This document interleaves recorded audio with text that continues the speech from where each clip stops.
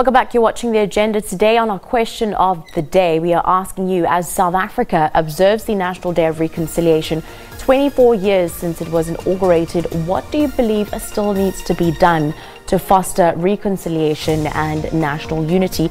We have some tweets uh, coming in on the matter, so let's have a look at uh, some of those tweets coming in.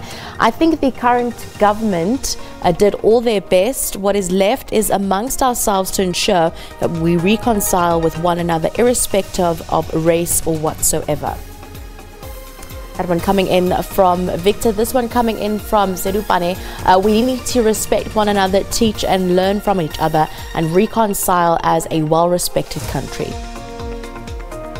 Simpiwe says, share the land equally, nothing else. The last one coming in from Lobuli saying, number one, remove the ANC from power. Number two, South Africans need a competent, good, clean governance. Three, build and support black businesses so white monopoly is not so obvious.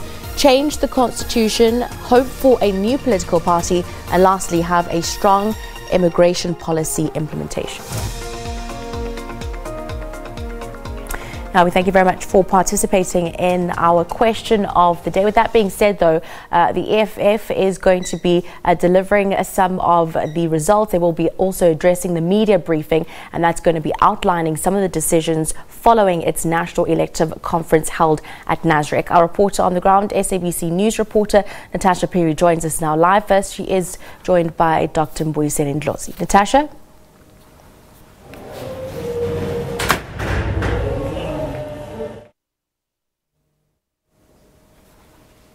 Well, a very good morning to you once again, Shante, and to our SABC viewers. Of course, this marks the last day of the EFF's National People Assembly, and of course, this also coincides with uh, Reconciliation Day. I'm actually in conversation with Dr. Mbuyiseni Ndlozi. Thank you so much for joining us thank you, thank you. on the SABC, and congratulations for being uh, re-elected or nominated into the central uh, command team of the EFF. Now, it's quite interesting that the EFF had amended its constitution to increase the central command team members from 35 to 40 uh, members. What was the reasoning behind this?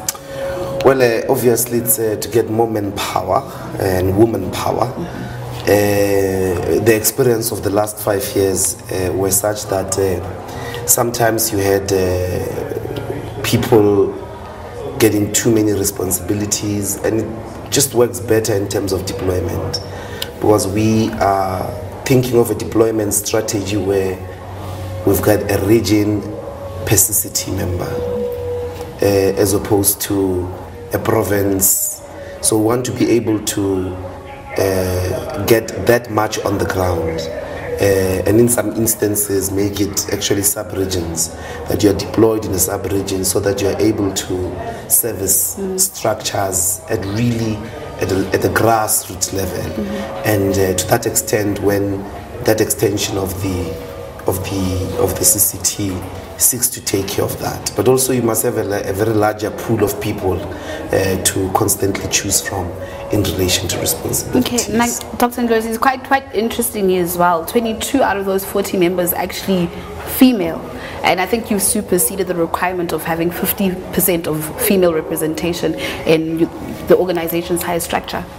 Yes, it's not just women, it's powerful women, tried and tested women women that have been on the ground, that have been loyal to the organization, but that have been reliable. Mm-hmm. One of the most important things in this journey is the reliability of people. People that don't show up only when it's good, when the weather is good, but when the weather is bad, they are not there. People who uh, are there even when the organization mistreats them. Um, so the reliability, and I think the the fact that there was no ballot shows you that the manner of uh, deciding was through deliberations. I mean, deliberative democracy, as it would be. Uh, you went through radical scrutiny, uh, what what would normally be called the eye of the needle. So uh, I know all those people. I've seen them on the ground. I've met them on many instances across the country. It's it's actually capable women that the organization can really depend on, that the revolution can rely on uh, to deliver uh, on whatever responsibilities that they're going to be bestowed on. Okay, so today is the last day. Members are making their way into commissions. What can we expect from those commissions? And in terms of constitutional amendments, what other amendments were actually made? No, no, the, the commissions finished last night, Okay. late last night. So we're going to go back to plenary to hear the reports of those commissions. And every commission started with the conversations around organizational redesign, some of which, one of the big issues is the membership of the EFF. Whether it should be open to, there's a proposal about the membership of the EFF being open to all Africans and Africans of the diaspora uh, Africans from the rest of the continent and then Africans from the diaspora. And uh, if we don't do that, how do we accommodate um, uh, those people who would like to be part of the economic emancipation movement uh, and want to be part of us? Uh, what would be the privileges, what would be the rights. There's going to be that discussion. Uh, it should have taken place already at the commission's level. It's going to be tabled there. Uh, there are questions of um, um, doing provincial structures uh, according to the sizes of the provinces so that we don't do one size fits all. So, for instance, in KZN, you've got 11 regions, but in Northwest, you've got four regions. Is it rational to have the same number of PCT members when the other PCT actually is dealing with more responsibility, a larger province uh, than in the Northwest? That's also going to be tabled there. The last one, maybe that is more interesting as well, is a mid-term conference uh, so that we don't just meet the next time we meet is five years. There must be a mid mid-term conference which checks on the progress of revolution of, of resolutions, check if we need to replace some in the central command team. So there's a proposal for a national general assembly, provincial general assemblies, mid-term, so two and a half years into the term of office, we must have that conference. That's going to also serve as a uh, an important constitutional amendment. So yesterday, um, throughout the press briefing, when the newly elected leadership had an interaction with the media, we heard uh, Julius Malema saying that um, they, they, well, the EFF actually wants a United States of Africa. Talk to us about the, the, the terminology between the Africa one currency. Well, I mean, uh, this is not an original idea of the EFF. It is a Pan Africanist dream that as African people, we've got one destination because we're all affected by colonization, and that the best way to truly um, decolonize um, is for us to unite as a people and to forge a common destination. So, and also to realize that we stand to benefit when we are united as African people.